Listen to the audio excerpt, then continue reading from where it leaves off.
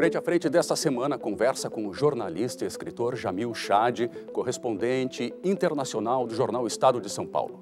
Ele fala sobre corrupção no futebol. Será que eu precisava mesmo daquele novo estádio? De repente, imagine uma torcida falar: não, não vou a jogos do meu time se esse time for comprado por um investidor obscuro chinês.